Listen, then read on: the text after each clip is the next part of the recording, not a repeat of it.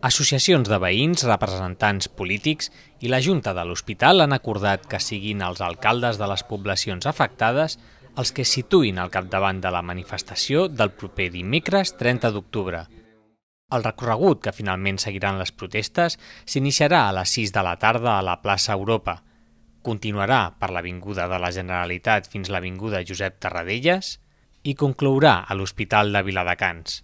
Valoro muy positivamente la, la actitud de, la, de, la, de, los alcaldes, de los tres alcaldes, que nos han demostrado eh, apoyo incondicional, digamos, ¿no? de, tanto el hecho de que encabecen la manifestación, que para nosotros era muy importante, como el hecho de que tengan, tengan claro que esto es un, un trabajo largo. Crec que és un fet positiu que hi hagi la unanimitat dels grups polítics al Parlament de Catalunya. Ahir mateix també aprovàvem una proposta al Consell Comarcal per exigir al Departament de Salut, al conseller Boi Ruiz, que d'una vegada defineixi el plan funcional de l'hospital, que concreti allò que vol fer.